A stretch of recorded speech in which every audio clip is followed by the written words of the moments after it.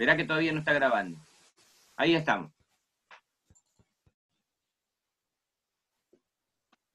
Bueno, cuando quieras arrancamos, Gaby. Perfecto.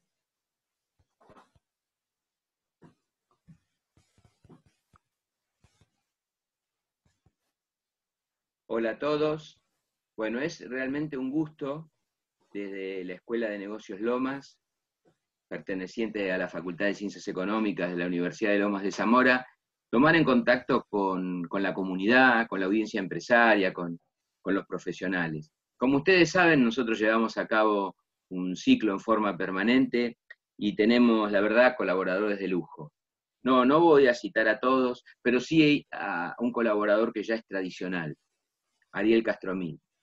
Ariel es profesor titular de la materia de Administración Financiera en nuestra facultad, graduado de nuestra casa, un profesional con larga trayectoria en temas financieros y asesoramiento a empresas pymes, y realmente siempre colabora en estos ciclos. Obviamente, por motivos que ustedes ya conocen, no podemos hacerlo en forma presencial, pero contamos con la gentileza de Ariel, el cual, respondiendo a la convocatoria de la escuela, presenta un informe que lo que quiere es, de alguna manera, ser una ayuda para todos aquellos que lo pueden estar viendo. Así que, Ariel, yo me atrevo a darte un agradecimiento muy grande en nombre personal, en nombre de la escuela y de la facultad, por tu gentileza de siempre estar colaborando con nosotros. Y bueno, arrancamos con el tema, un tema muy difícil, ¿no? Realmente, yo diría, si, si tengo que plantear el hot topic, yo diría, tengo que empezar por las finanzas. Y me parece que el pequeño empresario tiene muchas preocupaciones. Voy a hacer una pequeña aclaración. Primero cuidamos la gente, ¿no? El empresario tiene que cuidar a su gente, eh, y seguramente lo ha hecho, y esto más allá de, lo que estableció el gobierno nacional. Cuidamos a la gente que colabora con nosotros, creo que ese es el primer principio. Y, el segundo principio nos va a decir Ariel, y por eso abro la cancha a finanzas. Bueno, Gaby, eh, gracias por la invitación, como siempre. Sabes que eh, para mí es un placer poder compartir eh, charlas y, bueno, conocimientos y experiencias con todos los alumnos, con todos los colegas, con los empresarios, en los cuales permanentemente y a través de este intercambio creo que, siempre nos enriquecemos todos, digamos. Esto es eh, permanente. Como vos decís, eh, bueno, la idea desde el punto de vista financiero y, que tiene que ver con, esta pequeña presentación es simplemente entrar en contexto. Eh, en esto soy bastante reiterativo. Siempre digo que para poder tomar determinadas medidas en cada una de las empresas, es importante que el empresario tenga el contexto, como para ir de la macro a la micro de la empresa en particular. Vamos a hacer algunas aclaraciones con respecto al impacto financiero de las medidas que, el gobierno finalmente otorgó a, las empresas, en particular a las pymes. Algunas recomendaciones o esto que por ahí llamamos un, un pequeño manual de supervivencia. La importancia en la ejecutividad de esas decisiones que se vayan tomando, eh, y acá toma un poco la, característica de lo que yo defino como un comité de crisis, y eh, finalmente algunas eh, recomendaciones que tienen que ver precisamente con, sugerencias desde el aspecto de, de finanzas, ¿no? particularmente. Perfecto. Bien, no vamos a entrar, este, para eso lo tenemos, tenemos otro colega este, como, como es Marcos para hablar de economía. Seguramente nos va a acompañar Marcos también, sí, sí. Nos va a acompañar en la próxima. Este, pero de alguna manera sí poner un poco los números este, macros de, dónde estamos parados, ¿no? Claramente eh, esto, esto es algo que, que tomó por sorpresa al mundo esta situación. Y si bien a principios de año ya el mundo no venía creciendo de la forma que eh, precisamente habían pronosticado eh, el año anterior, eh, esto terminó precisamente de generar un efecto tremendo en la economía. Siempre que pensamos en el contexto macro, miramos a la economía más fuerte del mundo y a los indicadores que, esa economía más fuerte del mundo, que es Estados Unidos, nos transmite.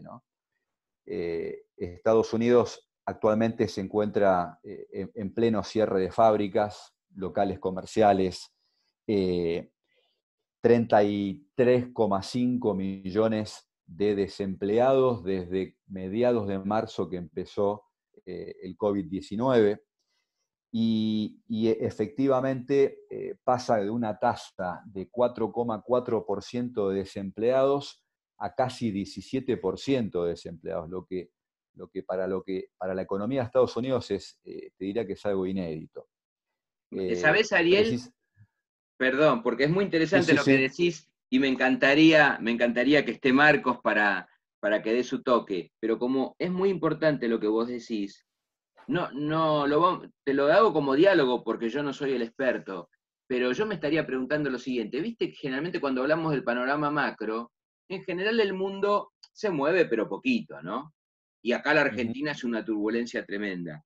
Lo que yo creo que realmente en este momento tenemos una turbulencia macro porque vos fijate que ya no es un cuarto de punto, no es que el, PBI cae un poquito, acá tenemos una turbulencia que prácticamente está a todo el planeta afectando. Hasta hoy yo decía la crisis de Arabia Saudita, que tiene que triplicar el IVA, que tiene que modificar cosas, ¿no? Es decir, eh, estamos frente a un escenario realmente, el famoso cisne negro, pero no solo cisne negro, sino tenemos un escenario de macro que afecta a prácticamente a todos los países, y ahí yo veo una notable diferencia con respecto a otros análisis que hacemos macro, donde a lo mejor la Argentina tiene una macro mucho más turbulenta. Solo era para, para corroborar lo que vos decís y poner en contexto esto, porque obviamente esto va a afectar a muchas empresas. Habrá empresas que exportan, por ejemplo, habrá otras que importan, pero nunca estuvimos en un... Yo al menos no recuerdo un escenario de esta naturaleza. Por ahí hay que remontarse, viste, a las guerras mundiales, eh, yo no había nacido y no puedo saber cómo era eso en ese momento. No, no, bueno, precisamente estamos este, prácticamente eh, en una economía de guerra, ¿no? Literalmente. Y, esto, bueno, eh, a, hoy, digamos, ¿no? Pone de manifiesto que nosotros creemos que el gobierno tomó medidas más o menos eh, bien encaminadas desde el punto de vista de la implementación de cuarentenas. ¿no? Si vos haces una, una comparación entre lo que sería Estados Unidos, Gran Bretaña, eh, España, y eh, España, Italia, y, lo comparás con respecto a los países de Europa del Norte que, cerraron mucho más rápido sus fronteras y que aplicaron mucho más rápido las cuarentenas, que es un poco lo que intentó hacer Argentina, bueno, efectivamente las tasas de mortalidad eh, de estos países, eh, por ejemplo Estados Unidos, eh, los países que más contagios y más muertes ocasionó el virus, están por encima del 7%, es decir, el promedio de tasa de mortalidad está en el 7%, y en Argentina ese promedio está en el orden del 5%. Y esto es precisamente como consecuencia de reaccionar antes. ¿Por qué reaccionan antes? Bueno, seguramente porque eh, sus economías son más endebles y sus sistemas sanitarios consecuentemente también, digamos, ¿no? Y esto efectivamente tiene que ver con enfrentar la crisis con acciones de alto impacto y de cortísimo plazo. La diferencia que tal vez tenga la Argentina, y ya ahora con respecto a, lo que es eh, precisamente su propia región, eh, Chile, Uruguay, Brasil, es que el resto de los países tiene acceso al financiamiento internacional de crédito y la Argentina se encuentra en este momento eh, en, una, en un contexto de renegociación de deuda externa, en donde precisamente va a poder acudir al mercado internacional de crédito posiblemente dentro de cinco o seis años, digamos, ¿no? ojalá antes, ojalá pueda antes, ojalá podamos antes. Ojalá que sí, pero, pero en este contexto, o sea, la única salida eh, de Argentina versus el resto de los países es la misión. No le queda otra que emitir. Y esto va a hacer que seguramente la recuperación de Argentina frente al resto de los países sea tal vez un poco este, más eh, lenta. Eh, el consenso de los economistas hablan de, una caída de producto de 10 puntos prácticamente para lo que va a ser este año. Eh, algunos economistas ya del orden más oficial, 6, 7 puntos. Independientemente coinciden en, que esto ha sido eh, realmente una crisis sumamente importante y una de las más fuertes y agresivas de toda la historia económica argentina. con lo cual, la idea este, precisamente que nos lleva a, pensar en que este, esta situación, ya desde el punto de vista y entrando en la Argentina, eh, la Argentina ya venía mal eh, antes de eh, la, la, pandemia. Es decir, ¿por qué decimos que venía mal? Cuando vos mirás la actividad económica de febrero versus febrero del año pasado, ya esa actividad venía cayendo. Por supuesto, cuando tomamos la de marzo, que se publicó la semana pasada, esa caída ya arroja un 17% este, de variación negativa. E, esto obviamente eh, habla de la dureza eh, precisamente que tiene, que tiene esta crisis.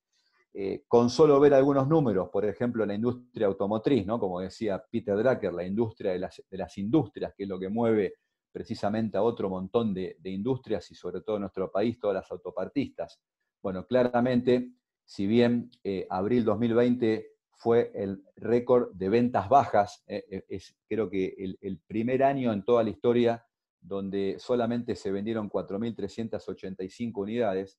Cuando vos llevas a esto a producción, la producción de abril fue cero, digamos, ¿no? con lo cual esto eh, implica también un dato inédito en la Argentina.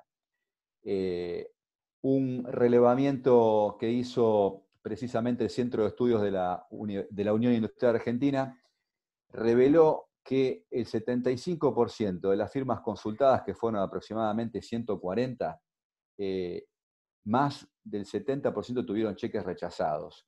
Y el 60% de esas empresas tuvo un impacto negativo en su facturación, es decir, que este, prácticamente la, sean empresas eh, que de alguna manera, podemos decir, de actividades esenciales o de actividades no esenciales en, la cual el gobierno ayudó a través de los planes de los famosos ATP, eh, todas, el, común denominador es que en promedio las facturaciones han caído más del 60%. ¿Qué va a pasar con los sueldos de abril? Bueno, de acuerdo a este estudio, el 87% de las empresas encuestadas va a tener problemas para poder pagar eh, los sueldos de abril. Bueno, y así podemos sumar algunos otros este, eh, datos que hablan de la economía, una economía en donde dijimos está, eh, eh, esta semana precisamente se va a, definir qué es lo que pasa con la deuda. La Argentina, obviamente, y todos coinciden en la importancia de no caer en el default, por eso, este, dado lo, que, lo, que, el humor, digamos, ¿no? de la economía, este, la semana pasada, bueno, dado que hay un buen avance y una buena receptividad a la propuesta de Argentina, el riesgo país bajó y, los mercados subieron. En este contexto... Hago una eh, pequeña aclaración que me parece excelente lo tuyo. Sé que existe un esfuerzo tremendo eh, y, para el que nos está escuchando y nos vea futuro, bueno, hay una parte que es muy coyuntural que puede, puede variar minuto a minuto. Estamos grabando esto y a lo mejor dentro de cinco minutos nos encontramos con otra novedad. Así que bueno, apelo. 11 de mayo. Claro, eh, y son las 5 de la tarde, pero esto está preparado de la semana pasada y, el sábado ya este, hubo modificaciones cuando estaban negociando y, extendimos los plazos. Yo apelo a la buena voluntad de quien esto escucha eh, porque realmente quizá lo, ve mañana o, en un mes, pero lo que queremos es brindar un contexto, porque me parece que la parte medular de esto no es el tema económico, menos el tema sanitario que no nos compete, simplemente lo que queríamos es poner en contexto, me parece lo claro que va a poner este, eh, de alguna manera, Ariel, cuando empiece a dar su manual de supervivencia, me parece algo que por lo menos, lamentablemente, vamos a tener que aplicarlo como mínimo en un trimestre, ¿no? Porque yo creo que, que mayo, junio y julio va a tener este panorama, ojalá agosto empiece a levantar, y bueno, si septiembre ya estamos eh, en, una, normalización de la economía, nos podemos dar por, por contentos. Y también una pequeña aclaración, estamos hablando, salvo que Ariel nos diga después que no, estamos hablando en promedio. Por ahí algún sector de la economía está un poquito mejor, no sé, el que se dedica a e-commerce, o a lo mejor el que vende alimentos, la pasa un poquito mejor que de repente el mercado textil, que podemos decir casi que perdió la temporada. Eh, eh, Ariel está hablando en promedio, vos corregime, Ariel, vos sos el que sabés, pero un poco pongamos en contexto esta información información sanitaria que nosotros obviamente no somos especialistas, información de naturaleza económica donde yo no soy especialista, nos encantaría que esté Marcos, y bueno, información de carácter financiero donde sí tenemos un especialista Ariel, y, mi interpretación es, yo me voy a poner en el rol del empresario o en el rol del profesional que quiere ayudar a un empresario en un escenario totalmente complejo, donde personalmente yo digo, el que cree que se las sabe todas, yo no le creo porque yo no me las sé todas nunca, y en este escenario hay mucho, hay mucho más para aprender que para enseñar, es lo que yo siento. ¿eh? No, no, correcto, correcto, y, para de alguna forma este, eh, ponerle en marco a lo que estamos eh, comentando, nos estamos refiriendo a, una encuesta que hizo la Unión Industrial Argentina a aproximadamente 1.300 empresas entre el 24 y 28 de abril, de los cuales esto arrojó que el 71% de las empresas encuestadas que forman parte del programa de asistencia a la emergencia y a la producción, es decir, a, los programas ATP, que son los que estamos ahora este, comentando, el 64% de esas empresas eh, no produjo nada, estuvieron sin producir, y el 71% registra caídas en las ventas superiores al 60%. Solamente un 2% de ese 71% de empresas eh, no tuvo caídas en su facturación. Ahora, el otro porcentaje, es decir, el 29% de las empresas encuestadas que fueron consideradas eh, como actividades esenciales, 35% de esas empresas igualmente, a pesar de ser de servicio esencial, no pudieron producir. Eh, y obviamente el 43% de esas empresas tuvieron caídas superiores al 60% en su facturación. Con lo cual estos números eh, ponen de alguna manera un poco de relieve la, tremenda situación en la cual nos encontramos eh, insertos. Uno, yo mira, más o menos desde el 10 de marzo hasta el 19 de marzo, que podemos llamarlo pre-cuarentena, ya se veía en ciertos rubros una caída. ¿Viste? Cuando se dijo, bueno, cuídense, trate la gente de no salir, ya se empezó a ver en restaurantes, en cafeterías, en heladerías, en esos lugares donde se juntaba gente, se, empezó a ver ya este, merma. Incluso se habían suspendido partidos de fútbol, lo sé porque se suspendió mi querido Racing que jugaba por la Libertadores, y después este, el gobierno nacional toma la medida de la cuarentena. Ahí es donde realmente ya uno empieza a perder ese,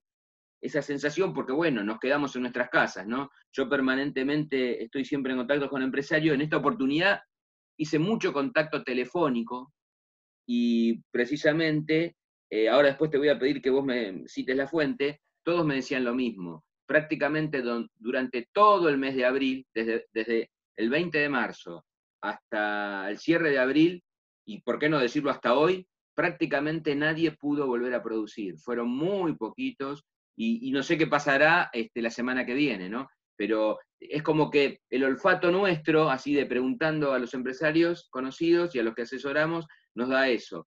Y bueno, te voy a pedir que nos cites la fuente, porque obviamente estás hablando de una... Sí, eh, eh, la, fuente es este, precisamente un informe del Centro de Estudios de la Unión Industrial Argentina. Sobre 1.300 eh, empresas aprox.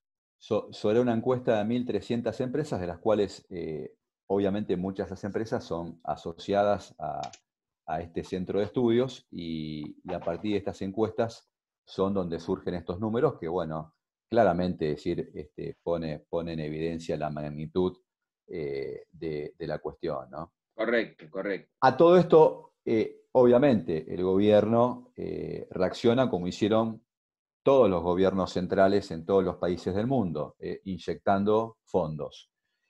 En la Argentina, primero sale un DNU, que es el 323, un DNU que por ahí fue un poco desprolijo, donde excluía eh, algunas empresas y algunas actividades.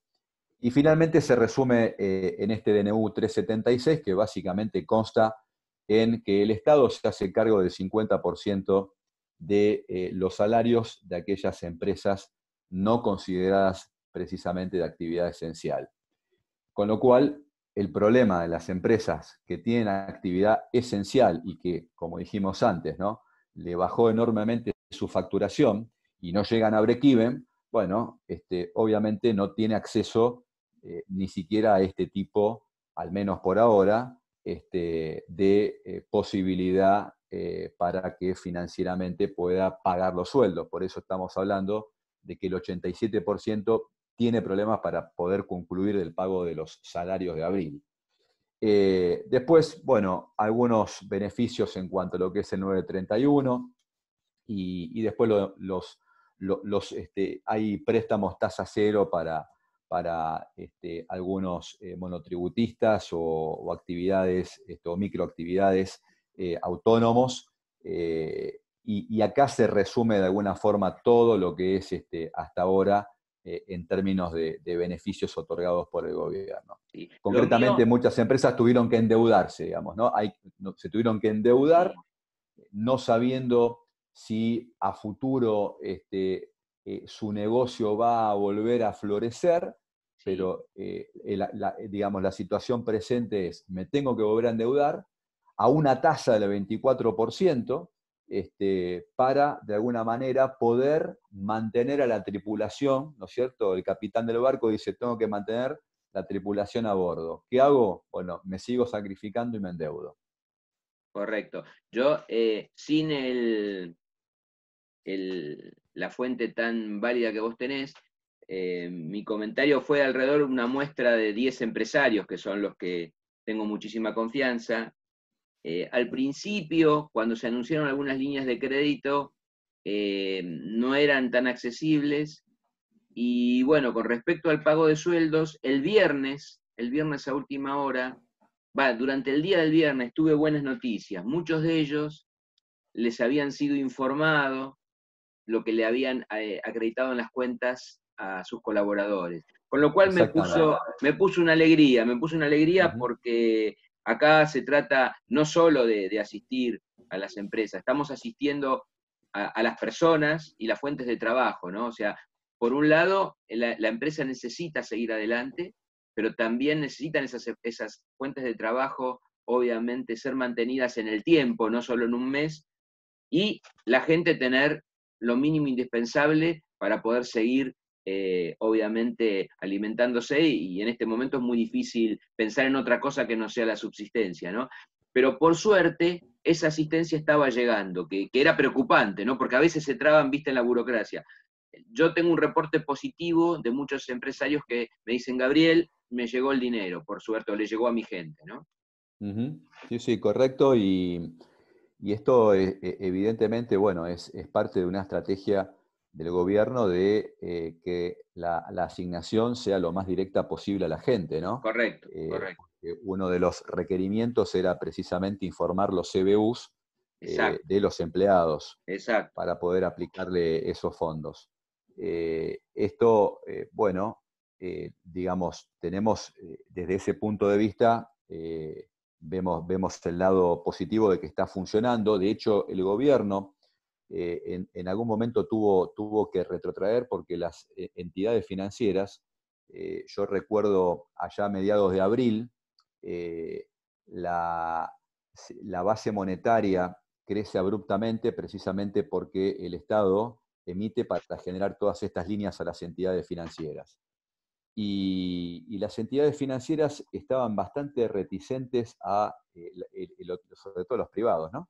Otorgar este, los créditos a tasa de 24%, cosa que este, precisamente si vos lo hacías a través de los bancos oficiales, Banco Nación, Banco Provincia, eh, era muy, pero muy ágil.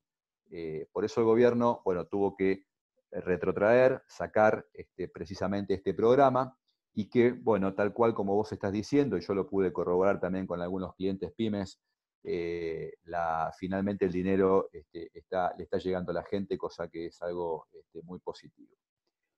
En este contexto, donde nuestro objetivo, eh, eh, y, de hecho un poco lo hacemos este, ya como, como parte, te diría, de una pasión, que es qué, podemos hacer nosotros modestamente o humildemente en pos de, un objetivo esencial que es la supervivencia de la pyme, digamos, ¿no? Por eso hablamos de un manual de supervivencia, simplemente recomendar eh, algunos aspectos que eh, hacen de alguna manera a la existencia o a la propia existencia o a intentar la existencia eh, de, la, propia empresa, ¿no? pensando sobre todo en, esta, en este gran mundo que son las pymes, que tienen menos recursos, que tienen menos posibilidad precisamente eh, de, acceder a, profesionales o, a consultoría como para que de alguna manera ayuden a, ese capitán, ¿no es cierto?, a, conducir este, su barco y que, ese barco pueda transitar en estas aguas bastante inhóspitas que hoy nos toca de alguna forma afrontar. Entonces, desde ese punto de vista, bueno, como hablábamos recién, la prioridad es mantener la tripulación y es pagar los sueldos muchas de esas empresas eh, tuvieron que recurrir a negociaciones privadas, y esto es hablar y negociar con su personal, este, que dado que no hay actividad o que la actividad este, era, era, muy baja, hay, hay empresas que, prácticamente no facturaron nada o algunas que facturaron este, un 50%, bueno, tratar de empleados y, y precisamente dueños de empresa acordar de alguna manera este, algún esquema como para, este, en cierta forma, intentar eh, poder pagar eh, los sueldos.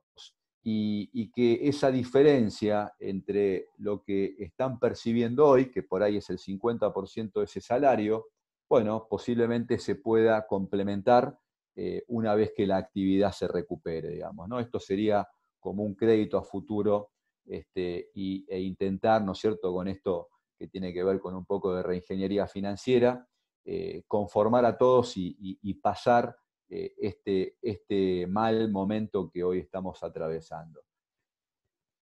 Luego, y, de lo más importante que es la, materia prima esencial de toda organización, que es la dotación, que es la gente, eh, pensar en quienes de alguna manera presentan servicios contratados eh, en muchos casos, sobre todo en las pymes, eh, tenemos, no sé, un, abogado eh, que obviamente no trabaja para nosotros porque no tenemos un departamento de legales como en la gran empresa, sino que tercerizamos precisamente esa actividad, o alguien de seguridad e higiene, este, o un consultor, o este, alguien de calidad. Bueno, lógicamente acá lo que, lo que recomendamos es priorizar este, el servicio y acordar este, con eh, ese, esa persona, ese profesional que, también necesita vivir, por un lado, pero creo que este, negociando, bueno, algunos, en algunos casos se suspenderá, en algunos casos se puede dar de baja y, en algunos casos obviamente se pueden eh, reducir esos honorarios para acompañar los, los montos de facturación. En esto este, hay, hay que ser eh, totalmente expeditivo, y obviamente este, hacer una división entre aquello que es esencial y aquello que no lo es tanto, digamos. ¿no? Lógicamente, nos encontramos en un momento coyuntural muy particular. Están suspendidos los despidos, con lo cual este, el Estado está otorgando todo este beneficio y este, como contrapartida, ¿qué está pidiendo? No despidas a nadie. Hay muchas empresas que eh, no pueden sostener eh, el personal por eso el Estado los está ayudando. Eh, y lo que, bueno, tendremos que ver un poco cómo, se, cómo, se, eh, eh, cómo evoluciona todo esto a futuro, a ver si, bueno, dio resultado o nos vamos a encontrar, como, como algunos de alguna forma están vaticinando, que vamos a tener este, niveles de desempleo sumamente significativos, como los que está ocurriendo, por ejemplo, este, en Estados Unidos, digamos, ¿no? Claro, esperemos que no, que aquí, digamos, como Estados Unidos es otro contexto en lo que es el tema laboral, tanto para despedir a la gente como para tomar gente, quizá, bueno, en, Argentina esperemos que no se dé, ¿no? Pero lamentablemente, si las compañías no tienen otra solución, muchas este, irán algunas a concurso, otras quebrarán. Eso es lo que más me preocupa, digamos, desde el punto de vista de, la visión empresaria, eh, tratar de que las compañías no lleguen a tener que cerrar, porque no están cerrando, si bien había una crisis, pero no están cerrando porque su negocio, sus fundamentos del negocio estén mal o porque su negocio está mal, están cerrando por una coyuntura. Entonces, me parece que en este periodo, que yo no creo que vaya a durar solo un mes, como fue abril, me parece clave lo que va a ser el trimestre mayo-julio, por así decirlo, que va a ser clave para que las compañías no creo que puedan recuperar. Yo creo que el año para muchas, lamentablemente, no digo que está perdido, pero casi perdido pero por lo menos decir, eh, empato, no gano nada este año, pero puedo seguir. Creo que la clave acá es la supervivencia, ¿no? Es el, el leitmotiv. Y yo me diría supervivir. Exactamente.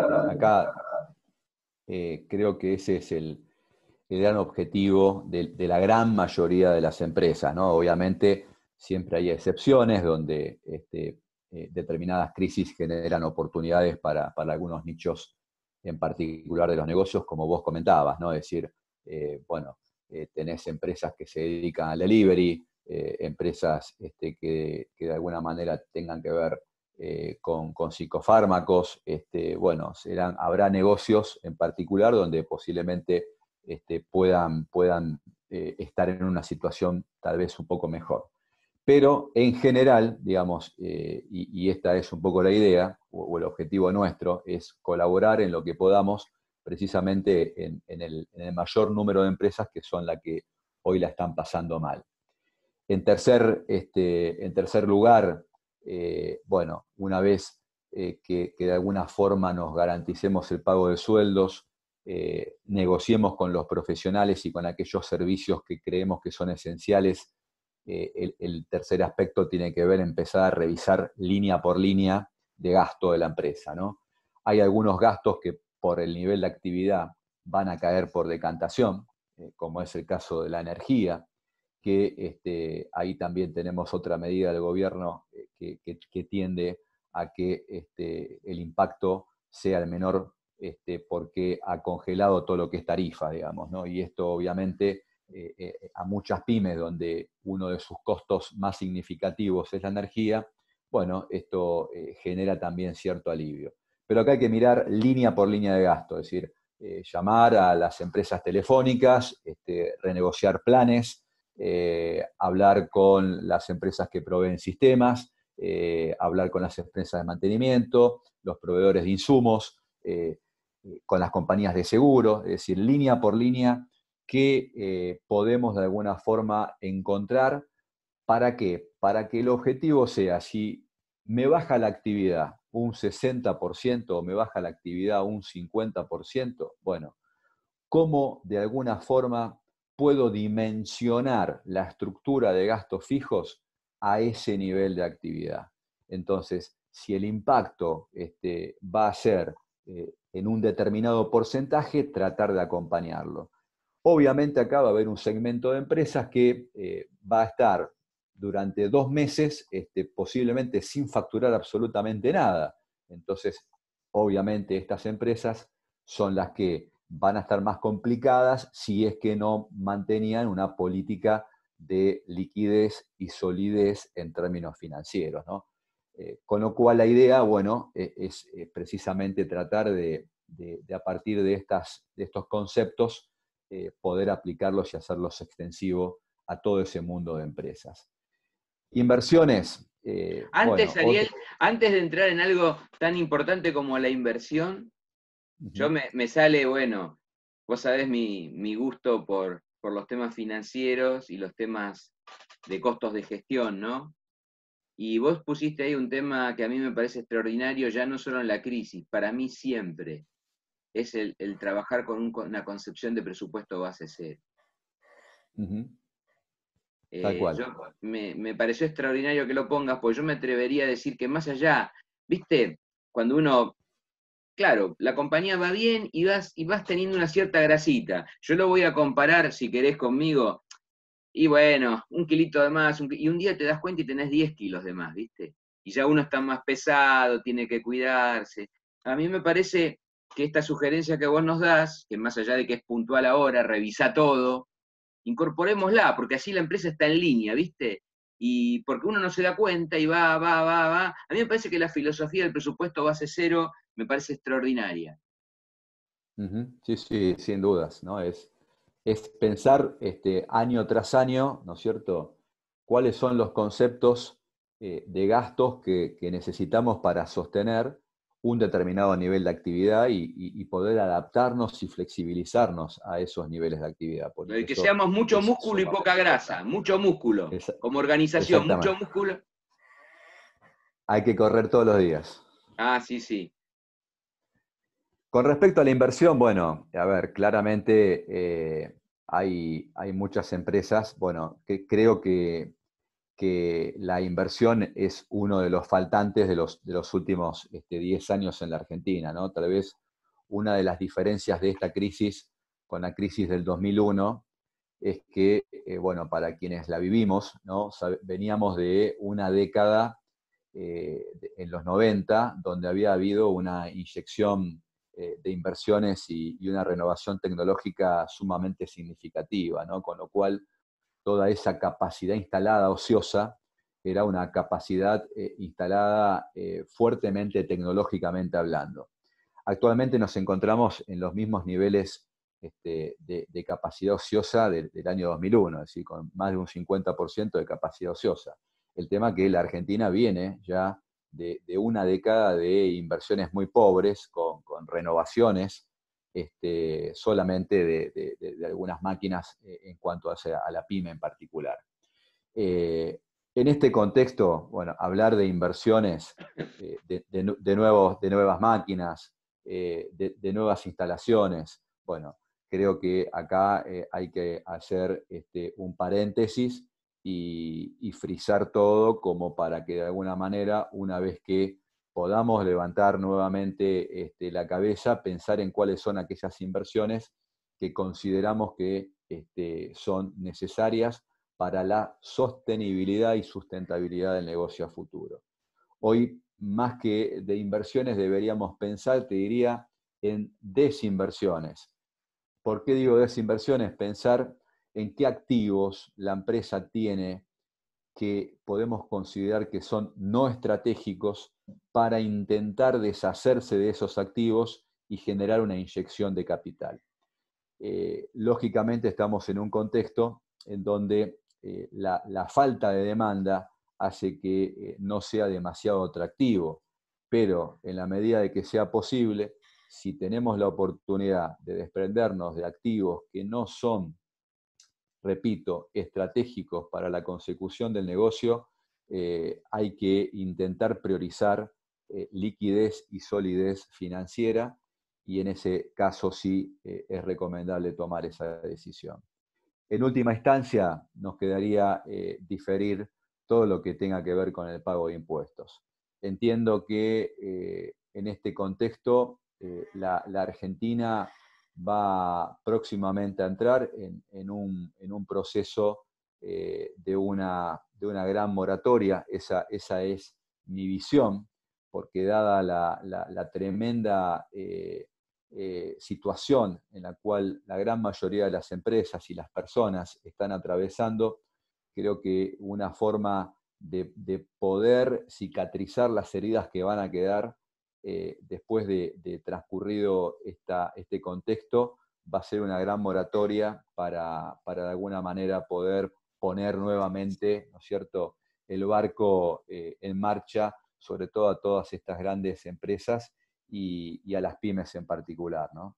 Y no quiero entrar en temas vinculados más a la problemática del asesoramiento impositivo contable, pero sin lugar a dudas que acá se mezclan muchas cosas, porque a la presión tributaria tan alta en nuestro país también se suma un contexto de mucha inflación, donde es realmente muy dificultoso determinar la verdadera ganancia real, incluso en las polémicas de los ajustes por inflación, muchas compañías están casi obligadas a tributar por sus pérdidas, ¿no?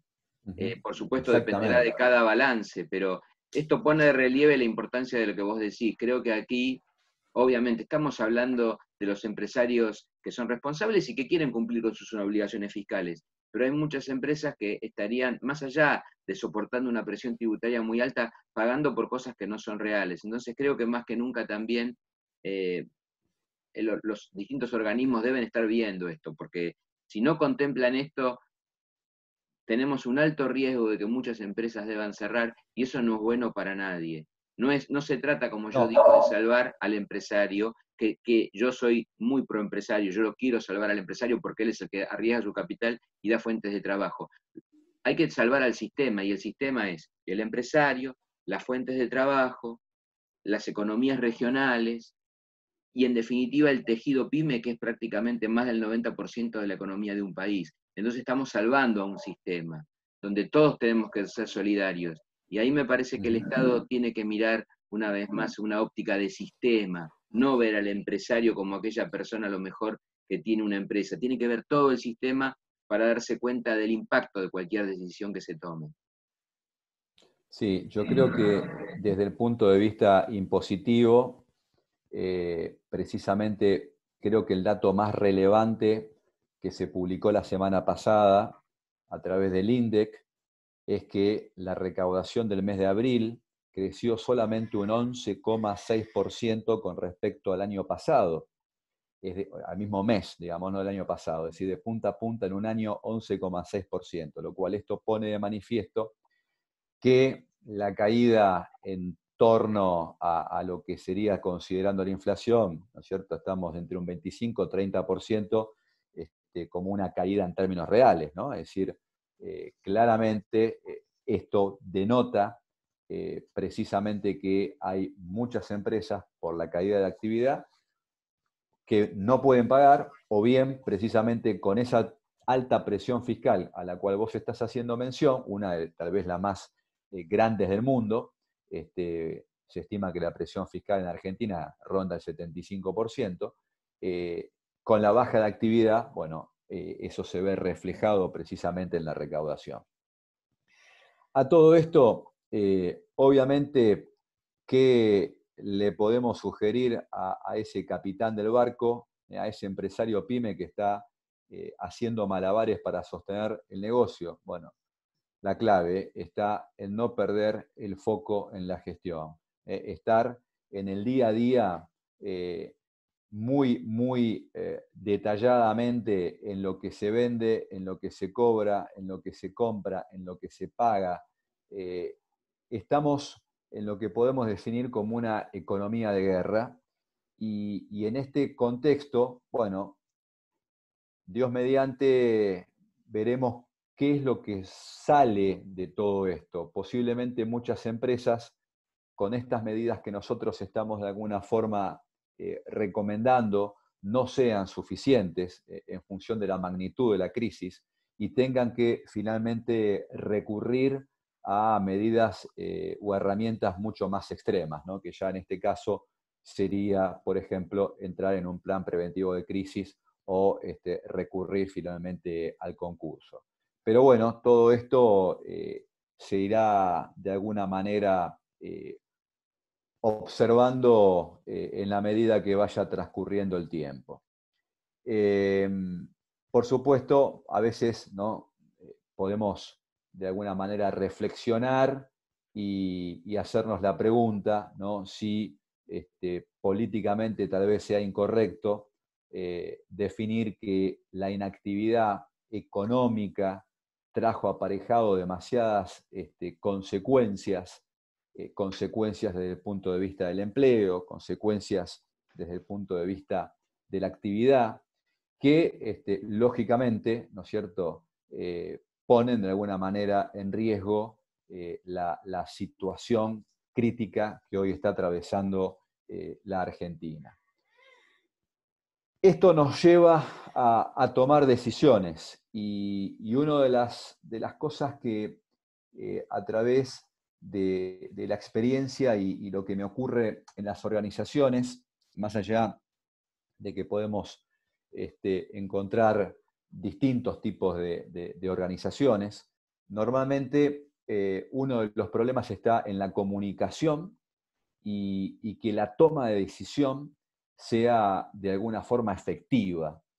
Para lo cual, eh, a esto yo creo que hay una herramienta eh, para poder ejecutar todas estas políticas financieras que finalmente la empresa tiene que adoptar, que tiene que ver con la conformación de un comité de crisis. Eh, básicamente, cuando nos referimos a un comité de crisis, estamos haciendo referencia a un conjunto de personas que son aquellas que definimos como el personal clave de la organización y este, precisamente son los que tienen que llevar adelante la ejecución de las decisiones a través este, de, un cronograma en donde en ese cronograma se especifique cuál es el tema, cuál es este, el objetivo este, de ese tema, quién es el responsable, cuál es la fecha de ejecución eh, y llevarla adelante. ¿eh? Con esto, por ejemplo, digo, bueno, tenemos que renegociar el honorario eh, de un asesor. Bueno, ¿quién se va a ocupar? ¿Cuál es el objetivo de reducción? Y obviamente informar a ese comité en cuanto a el avance de esa gestión y una vez que esa gestión fue finalizada, bueno, cuál es la siguiente decisión. ¿no? Esto es lo que nosotros eh, llamamos como la cadena decidir, hacer, evaluar y nuevamente hacer, evaluar, decidir. Esto es un ciclo este, continuo dentro de lo que es eh, el comité de crisis. Eh, el comité de crisis precisamente colabora con el capitán del barco, es decir, con el dueño de la empresa, en que ese dueño de la empresa no se encuentre solo en la toma de decisión, porque esto también es otro de, los factores por los cuales muchas empresas eh, terminan fracasando eh, en la toma de decisiones, porque a veces eh, todo recae en una sola figura y, si esa sola figura no tiene otra mirada, por ejemplo, siempre acá recomendamos que es muy importante la mirada de, un asesor externo, porque el asesor externo, más allá de ser independiente, es quien puede vincular o, relacionar mejor la macro, es decir, el contexto, con el eh, problema particular eh, que tiene eh, el negocio, digamos. ¿no? Es decir, por eso siempre decimos que una visión externa es, es una, una, una, fuente de, de, inspiración para el empresario pyme, porque le va a dar este, otra mirada de la situación y esto complementa y le agrega valor a la, toma de decisión de, este, ese, de ese capitán de barco, digamos. ¿no? Ariel, eh, justamente quiero apoyar lo que decías del comité de crisis, porque bueno, habrá muchos de los que puedan ver este, esta presentación tuya por primera vez, otros ya a lo mejor ya lo conocen. Poco aclarar desde el email, que es un Instituto de Management, Estrategia y Liderazgo de la Facultad, nosotros tenemos la visión de la alta dirección. ¿No? Entonces, lo que tratamos con Ariel, con Marcos, quien les habla y otros profesionales, no estamos hablando de trabajar en lo operativo, sino que estamos hablando siempre de la visión de la alta dirección. Es decir, después ustedes específicamente podrán haber aspectos contables, aspectos laborales, jurídicos que lo verán con abogados, con contadores. Nosotros damos la visión de lo que sería el directorio de la compañía, el directorio tal vez no ejecutivo, o la alta dirección, ahí sí, la dirección ejecutiva, pero no, no vamos, nunca entramos en aspectos tan específicos y lo que planteamos, lo planteamos como si fuéramos un consejo consultivo, un consejo asesor, un consejo administrativo. Esa es la visión del instituto, la alta dirección viendo aspectos muy macros de la empresa, después, bueno, ustedes operan ya específicamente, damos lineamientos generales, bueno, finanzas, en, marketing, cuando hablemos de marketing, son aspectos centrales. Aspectos vinculados a las personas, pero después dejamos para que ustedes obviamente operen sobre eso, ¿no? Es una visión muy de directorio, la que damos, que creo que vos compartís este enfoque, Ariel. Sí, sí, completamente, y, la idea eh, de un comité de crisis y la participación de un profesional externo eh, en ese comité de crisis es eh, en el rol de staff a la alta dirección. Es decir, esto tiene una, te diría, correlación este, absoluta con, lo que, con el comentario que, acabas de hacer. Eso es perfectamente delineable y así es como está pensado. Eh, obviamente, eh, más allá de, estas recomendaciones, desde el punto de vista de la, gestión propiamente dicha, que ya tiene que ver más con, la gestión del día a día, eh, cuáles son aquellas ideas y sugerencias que, desde el rol de, administrador financiero eh, podemos de alguna manera eh, sugerir. Acá hay dos, aspectos. Uno tiene que ver con, el aspecto que podemos denominar la administración y control financiera eh, en el día a día, ¿no? en la situación actual que hoy estamos atravesando. Y el segundo aspecto o el segundo punto que tiene que ver con el repensar la empresa eh, hacia a futuro. Es decir, bueno, estamos en un túnel oscuro en donde creemos que al final de ese túnel hay luz. Y, a partir de, esa pequeña luz que nosotros estamos visualizando, bueno, repensar el negocio a partir de la planificación estratégica de ese negocio, porque obviamente creemos que el mundo no va a ser igual como el que fue a partir de esta eh, situación o de esta pandemia. Creemos que eh, en muchos casos va, a haber cambios, cambios de, costumbres, cambios de usos, cambios culturales, y esto obviamente va a poner eh, a prueba otros mecanismos que va a dar lugar seguramente a alguna otra este, charla que, Gabriel eh, va, a estar organizando relacionado a lo que tiene que ver con aspectos ya de la mercadotecnia o, la comercialización y el marketing.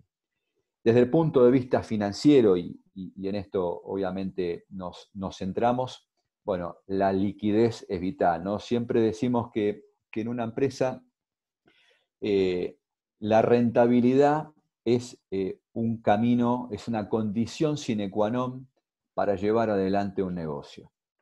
Pensar hoy en rentabilidad en el contexto en donde nos estamos desenvolviendo sería pensar en algo tal vez utópico, ¿eh? porque las empresas por lo general todas están perdiendo dinero y lo que buscamos es intentar encontrar lo más rápidamente posible el, break-even o el punto de equilibrio de la empresa, por lo menos no perder. Ese es el gran objetivo que hoy nos proponemos. Desde ese plano, entonces decimos, bueno, ¿qué hago? O sea, sabiendo que no tengo rentabilidad, bueno, tenemos que priorizar entonces liquidez y solidez financiera. ¿Cómo priorizo liquidez y solidez financiera en este contexto? Bueno, eh, esto es como decir, tenés que pararte arriba de la caja, digamos, ¿no? Esta sería la recomendación a, cualquier dueño de la empresa. Parate arriba de la caja, sea poca, sea mucha. Si no es nada, bueno, eh, toma eh, los fondos que puedas este, y ese fondo que puedas tomar, bueno, paralo y, administralo de manera tal este, que dé el mayor plazo posible para que la empresa vuelva a tener eh, un determinado nivel de funcionamiento. En ese sentido, controlar los fondos, eh, no dejar la aprobación de gastos eh, a quienes de alguna forma o normalmente lo suelen hacer, efectivamente no, ahora este, todos los gastos pasan a centralizarse y a controlarse eh, a través de una cabeza que tome esa responsabilidad y que sea definido por el comité de crisis quién va a ser este, finalmente el que apruebe eh, gasto por gasto de la organización, a partir, insisto con esto, de lo definido en el comité de crisis y por eso la importancia del comité de crisis. Negociar con los proveedores, buscando este, ampliar plazos eh, o mejores alternativas. Buscar un equilibrio entre los inventarios que había y lo que realmente necesito a los actuales niveles de producción.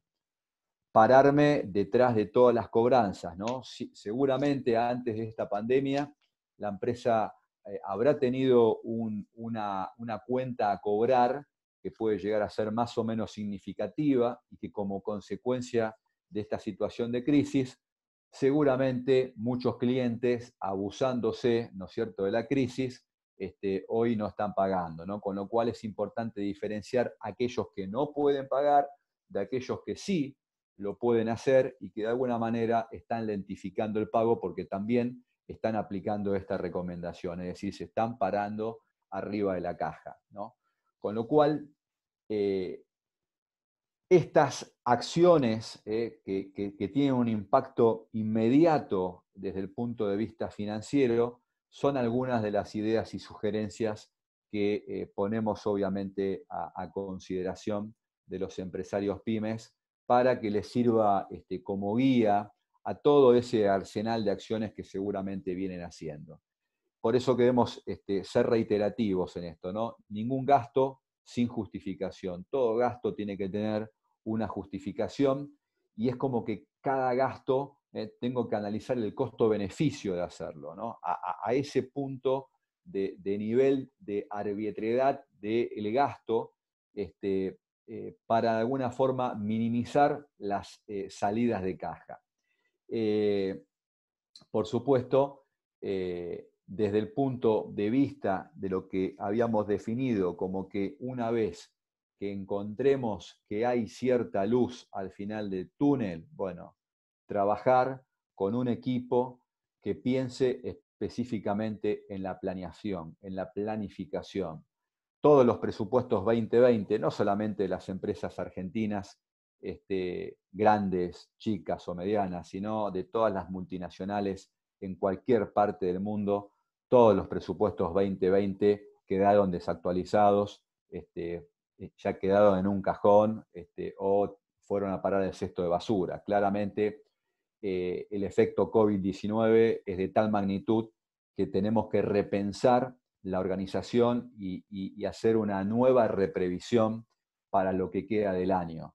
En ese sentido, bueno, tenemos que priorizar primero lo financiero con planes de muy corto plazo, seis meses, 12 meses, y después ya armar este, un plan de, reorganización y eh, alternativas que nos garanticen un volumen de ventas que no solamente ya sostengan de alguna forma el equilibrio de la empresa, sino que pensemos a este, uno de los tres grandes drivers que son los que cualquier organización tiene que tener, ¿no? que siempre decimos lo mismo, rentabilidad, crecimiento y sostenimiento de la ventaja competitiva.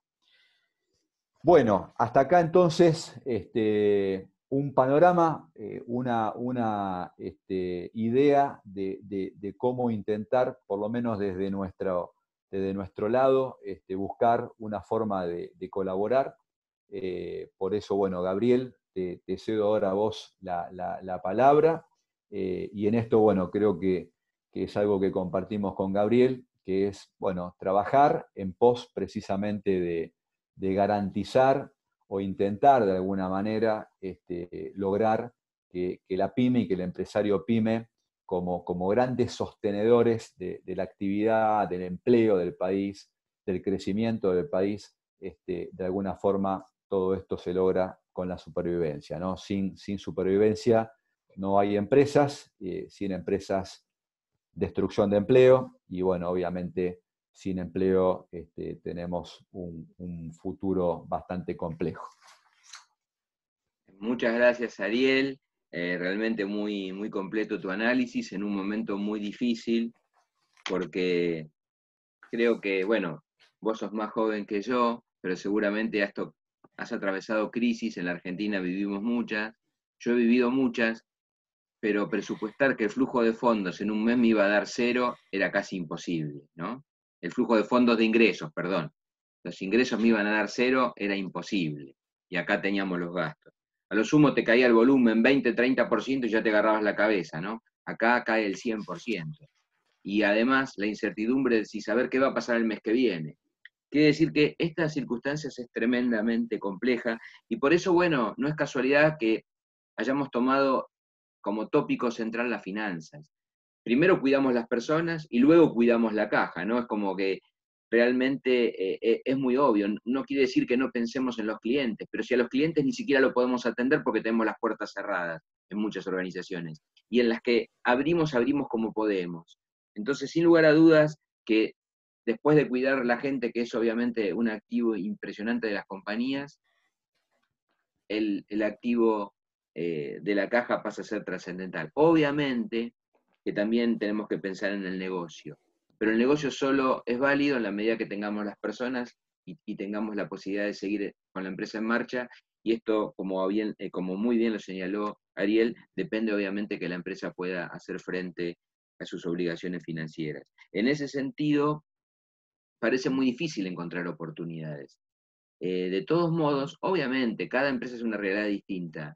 Si bien nosotros, y Ariel dirige su mensaje fundamentalmente al empresario pyme, también las empresas grandes han estado afectadas, porque evidentemente tienen espalda, pero hasta un cierto punto. Y en la medida que esto se prorrogue muchos meses, también deberían seguir muchas de las recomendaciones que, que él siguió. Yo diría que esto es válido para todo tipo de empresas, incluso esto también es válido para aquellos pequeños emprendedores que todavía no tienen una magnitud de empresa y que conocen bien esta realidad, hay que enfatizar más. Y también para el campo profesional, no nos olvidemos que todo profesional es una pequeña pyme. A veces un profesional, un contador independiente, un abogado, hasta un médico, le cuesta visualizarse como empresa. Yo digo que todos somos una pequeña empresa. Y un médico que a lo mejor no pudo atender en un consultorio tiene esta realidad. Es una pequeña pyme y no se dio cuenta. Quiere decir que esto tiene una validez para mí, prácticamente para todos, y hasta, si me permitís, Ariel, hasta para el hogar, ¿no? Es decir, en la economía hogareña también esto nos sirve, porque creo que este es el fundamento eh, nuestro y tuyo fundamental de tratar de ayudar a todos. Y en términos de oportunidades, si tenemos que dar alguna luz de esperanza, bueno, yo creo que la Argentina, el mundo, pero la Argentina en particular ha tenido, ha mostrado que nos podemos recuperar, esto va a pasar, eh, hay que pensar en positivo, va a haber algunas oportunidades. Desgraciadamente hay gente que va a decidir salir de algunos negocios. Esto puede tomar oportunidades para otros.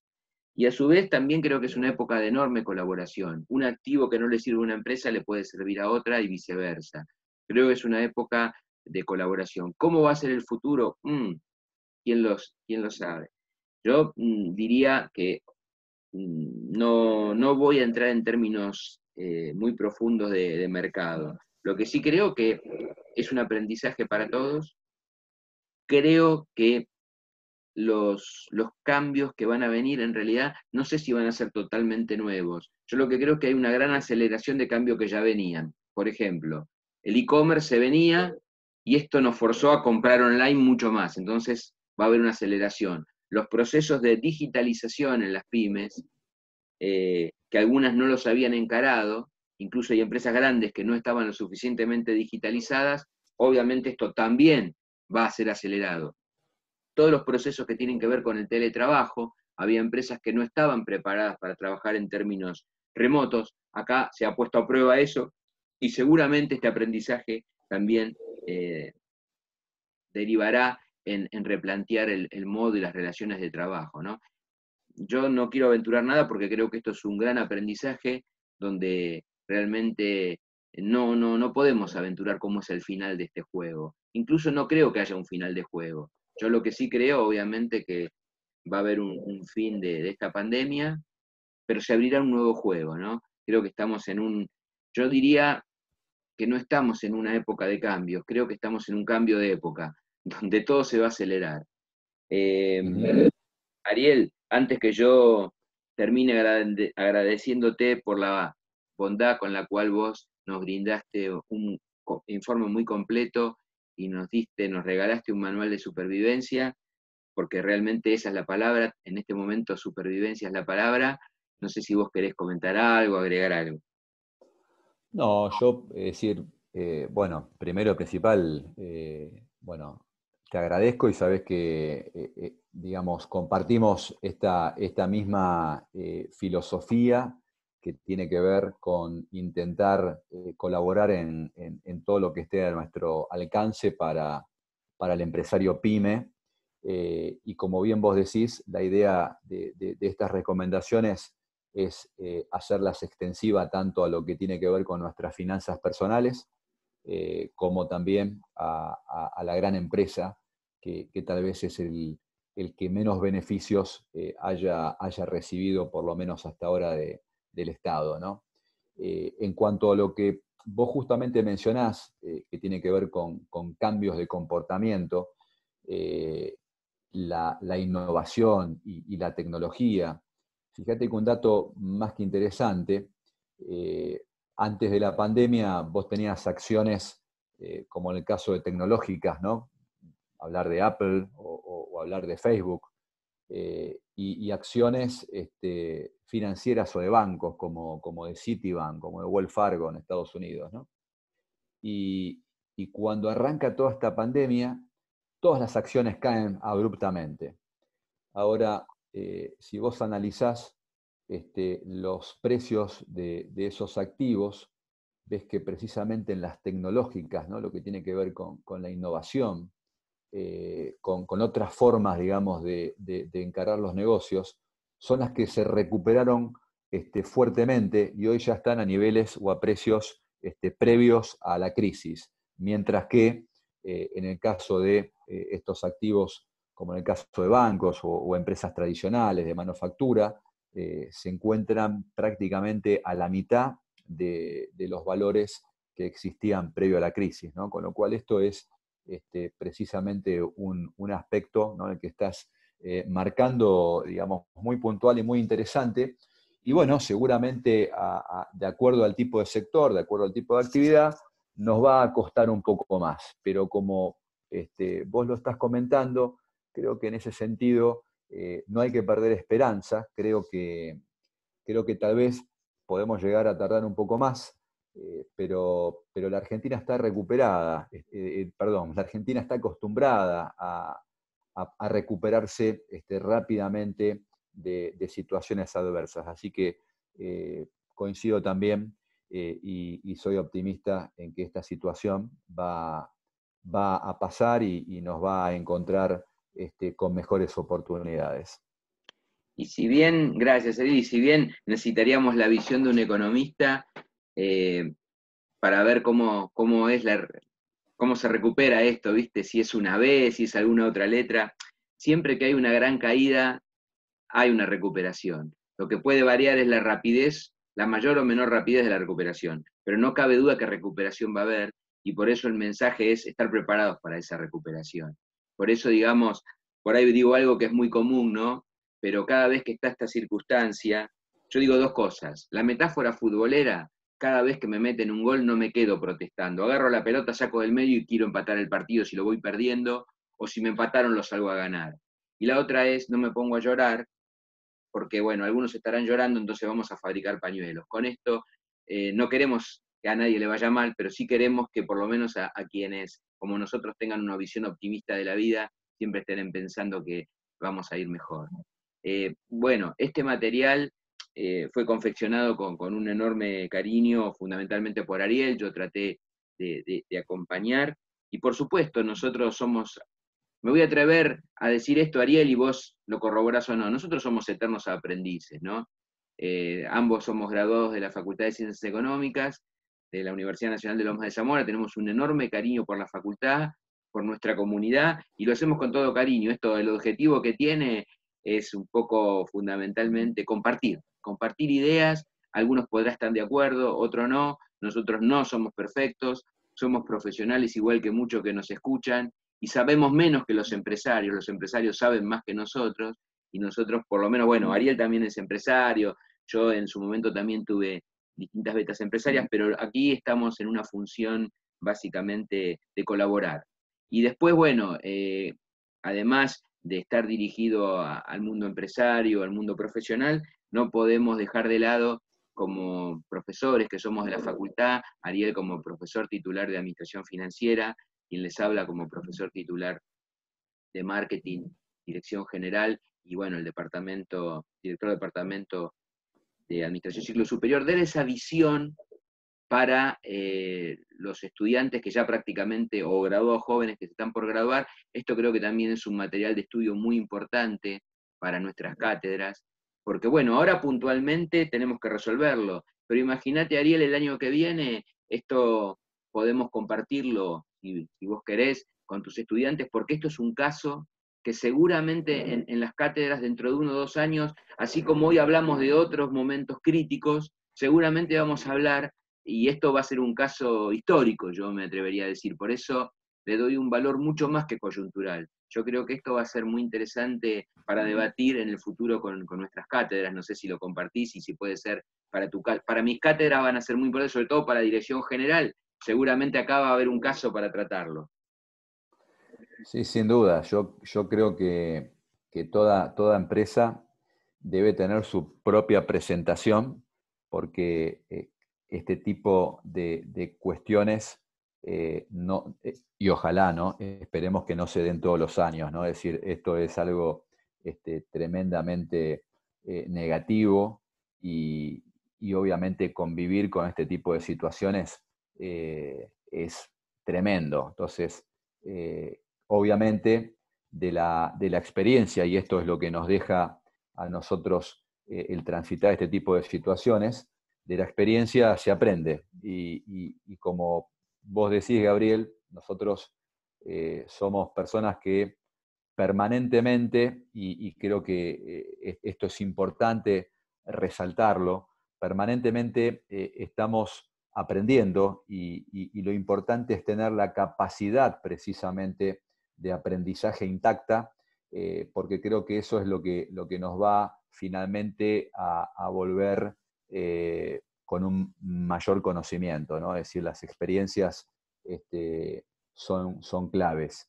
Eh, así que este también va a ser parte, digamos, de, material de estudio, este, como lo fue seguramente la crisis del 2001, este, o como por ahí a nosotros nos, nos agarró bastante mejor eh, la crisis del 2007 o 2008, digamos, ¿no?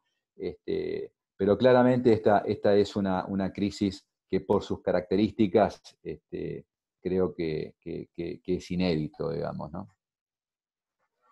Muchas gracias, Ariel. Eh, la verdad que como me fue tan placentero escucharte, fui perdiendo idea del tiempo, pero creo que hemos estado una hora un poco más y yo he aprendido muchísimo. Ojalá que quien esto reciba, ya sean empresarios, profesionales, la comunidad, alumnos u otro tipo de personas interesadas en este tema, si lo valoran el 10% que yo valoro esto, seguramente va a ser productivo. Así que bueno, muchas gracias. Yo voy a, cortar la grabación y después quedamos en, privado nosotros. cortamos la grabación, así queda el documento. Muchas gracias. Listo. A vos, al contrario.